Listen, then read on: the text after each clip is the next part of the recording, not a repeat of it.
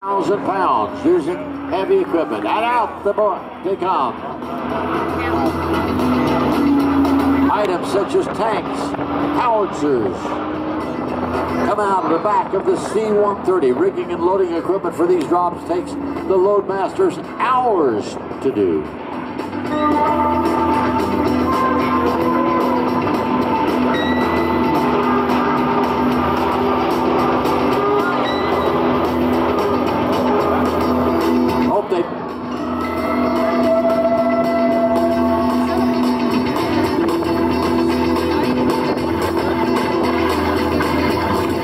What do you think of the delivery system, ladies and gentlemen? By your C-130s. Now, those are the heavy ones. Now,